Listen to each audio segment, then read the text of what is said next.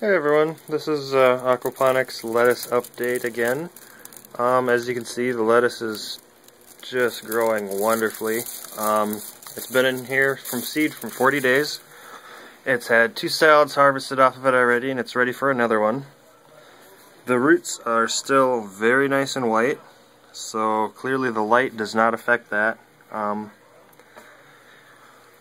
but yeah, it's uh, time to harvest this to get some light to the other plants. So now that it's been trimmed up, you can see here that the two plants in one really didn't work out very well. Um, this one didn't get any light, and this one basically stole it off from this one. So this one's almost dead. And this one's uh, coming back pretty good now that it's got its own light, since obviously the uh, first one there stole all the light. But, uh, yep, and then eventually I've got a different top that I've made for this, so it won't be on styrofoam and it should look a little better. Space them out a little bit, and uh, I'll go grab that here. Here's the uh, modified top. I uh, popped the glass out where the light would go, and uh, put some um, plexiglass in there that I cut holes in.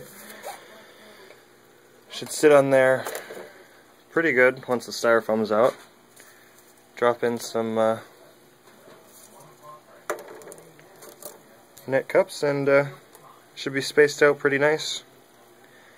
And uh, here's the lettuce that I got. It's enough for uh, one little salad, but uh, not bad for just growing in fish water.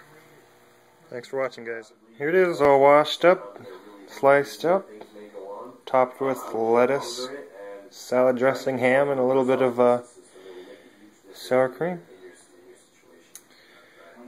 Aquaponics for you. So Cheap and delicious.